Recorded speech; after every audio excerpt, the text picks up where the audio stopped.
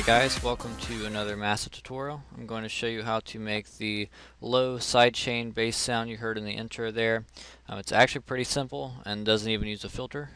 So first off, we're going to set oscillator 1 to poly sol 1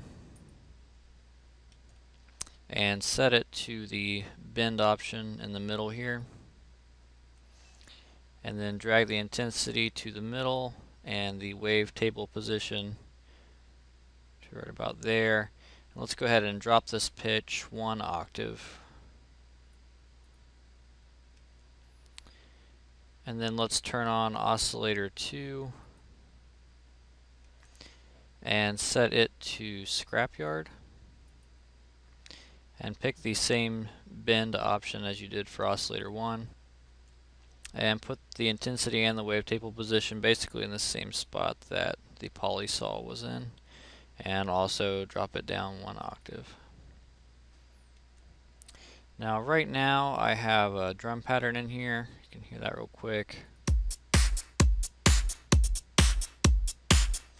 Um, my massive is turned off right now.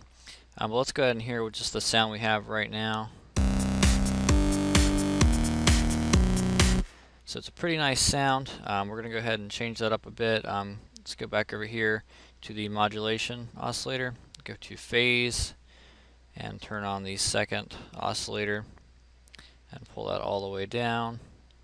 Let's go to envelope 3 here. We're going to turn this level all the way up and the attack pretty far up and let's take that drag it to the phase and pull pretty far. And to give this a grittier sound, come into Insert 1, turn that on, and select Hard Clipper. Turn that drive up pretty far, and the, down to dry just a little farther. And then in FX1, set that to the phaser option. Turn the dry wet knob down some, the rate down pretty far.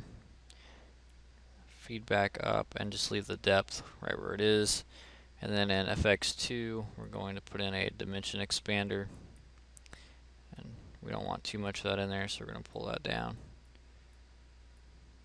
Okay, let's go ahead and hear that.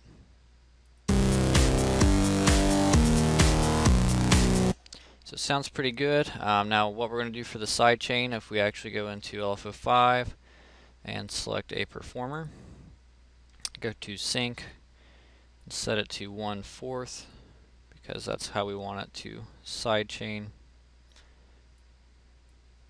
Go to load curve and select this one right here and just drag that all the way across. Take this X fade and pull it all the way to the top. Now, um, if you watched my previous video on white noise, I did basically the same thing, um, a little different here, but we're going to use this performer to sidechain the main amp, and that's what's going to cause our sidechain effect. So let's hear that.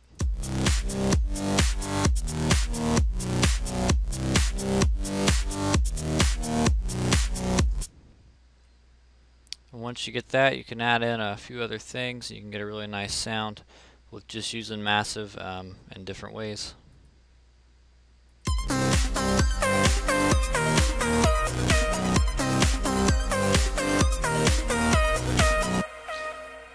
See, I think that's a great example of um, something simple like oh that can be really powerful. Hopefully you found that helpful.